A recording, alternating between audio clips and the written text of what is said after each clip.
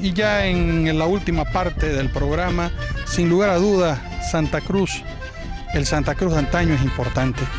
El Santa Cruz de antaño, que ya no existe, es fundamental para concebir un Santa Cruz de hoy. Yo lo invito a que vayamos juntos a este espacio denominado ¿Qué tiempos aquellos?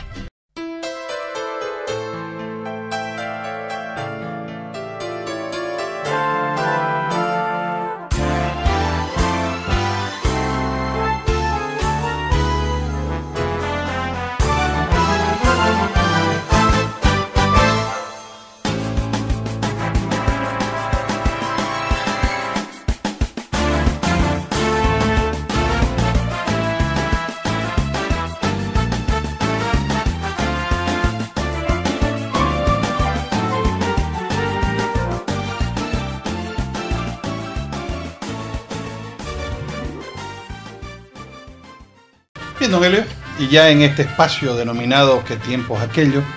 Vamos a hablar, eh, aprovechando el tema que tocamos en nuestras costumbres sobre el café de siesta, vamos a hablar de la casa grande, porque así se llamaban a la casa de, de los padres, de los abuelos, y la casa grande que albergaba a hijos, nietos, eh, yernos y nueras, por supuesto, a la casa que albergaba a toda una familia y que alrededor de los padres se generaba eh, se generaban reuniones y vivencias diarias de toda una familia. Eh, el, que eso se ha perdido lamentablemente. El ambiente familiar eh, que giraba alrededor de nuestros abuelos. Y no estamos hablando de muchos años atrás estamos hablando de 20 años, 25 años atrás, aún se vivían este tipo de, vivencias de la casa grande, que recibían y vivían en esta casa toda la familia prácticamente. Hablemos sobre la casa grande, don Elio. Bien, hay historias muy bonitas de familias que se formaron allá en esos tiempos, ¿no? Pero que por cosas del azar, por cosas del destino, tenían uno que atender el ganado, atender la estancia. Otros de los hijos o de los hermanos iban a atender eh, al poblado. Tenía que estudiar o ya eh, era político o ya era médico, era abogado, en fin. O u otros tenían que viajar al exterior, ¿no? Iban naturalmente pues a los países vecinos, a la Argentina, a Chile, a grandes universidades que habían en esa época. Entonces, el desparramo de la familia, ahí era. Y quedaban pues los nietos. Y los nietos quedaban al calor de la mamá, al calor de la abuelita. Y era una reunión, evidentemente, exigida, estrictamente obligada por el respeto que había que tener con la abuelita, con la mamá y así. Hasta que llegaba eh, uno de los papás y era el estanciero, llegaba con carne, con charque, con carne monte, ¿no? Traía, entonces. Y de vez en cuando, pues un lorito, ¿no? Que era también parte de la familiaridad, ¿no?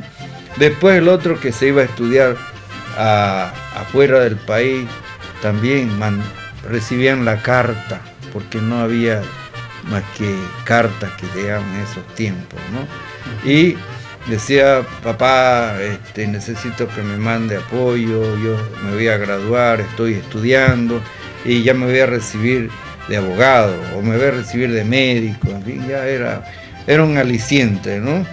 Y luego el otro, caramba, ¿no? Se relacionaba pues con el campo político, ¿no? Ya tenía que estar al tanto de las necesidades del pueblo, ¿no? Tanto en salubridad, tanto en educación y así. Todo era, porque de cuidados en campo policial no había, era sana la gente, ¿no? Era honesta, ¿no? El, el que mal hacía algo, entonces ya con el desprecio público era suficiente, ¿no? Era el castigo. Y que en ese, en ese entonces la palabra valía, era, era un documento firmado, el solo hecho de, de pactar un, trato de palabra se cumplía. Así eran, era, eran, sí. eran cosas de honor. Sí. Mi palabra es ley, decía, ¿no? Así el es. padre decía, y eso lo imbuía a los hijos, ¿no? Mi palabra es ley. Entonces, para ello, pues, ¿qué hacía? Ya cuando llegaba el doctor, ¿no? Caramba, qué alegría. Una anda a matar una, un- una vaquilla, ya, ¿no? Y que caramba. Ahí venía el otro, el compadre, y todo en una reunión familiar. Qué calor hermoso, ¿no? Y ya se juntaban los nietitos ahí alrededor de la casa a jugar, que a caballo, que tuja, que todos los juegos que se hacían ¿no? en esa época, los niños. Y los grandes, pues caramba, a festejar ahí con, ya si había pues una tamborita, también la traían, ¿no? Y compartir al son de la música, un churrasquito, un majá, un locro, ¿no? Y de, y de verdad que los encuentros familiares de ese entonces eran muy calurosos, había Na- mucho cariño. Naturalmente, ¿no? Tenía un, un- era bien altruista porque todo era al calor familiar, ¿no? En cambio, bueno, el tiempo pasa y este modernismo que viene cambiando todo, ¿no? Eh, esa familiaridad, esa unión que había, ya no, porque cada uno prende para su lado, pues bueno, andamos como estornudo de deñato, desparramado, ¿no? De verdad.